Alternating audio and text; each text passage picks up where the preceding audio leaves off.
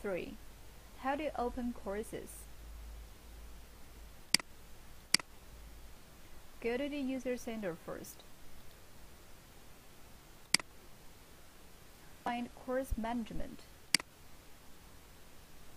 Click Add.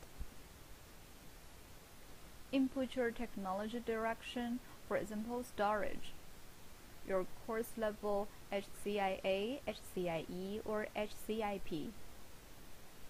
And for this column, it will not be mandatory. It will be automatically generated.